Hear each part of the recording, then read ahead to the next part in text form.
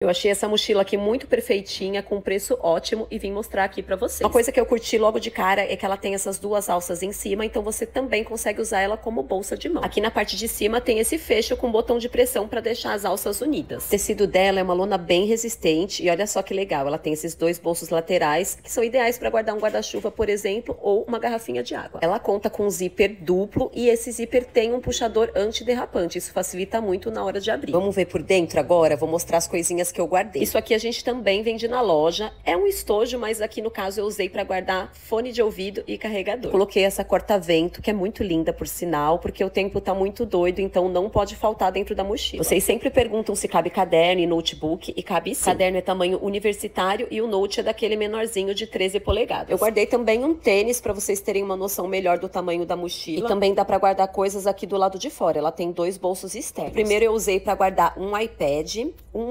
E uma carteira grande. No outro bolso eu usei para colocar o kit tosse, porque todo mundo que eu conheço tá com uma tosse fazendo aniversário. Não posso deixar de mostrar as alças, elas são largas, tem mais ou menos quatro dedos de largura e elas são acolchoadas também para te dar maior conforto. Apesar dela caber bastante coisa, o tamanho dela é compacto. Então você não vai ficar parecendo uma tartaruga ninja com ela nas costas. Olha só que gracinha que fica no corpo.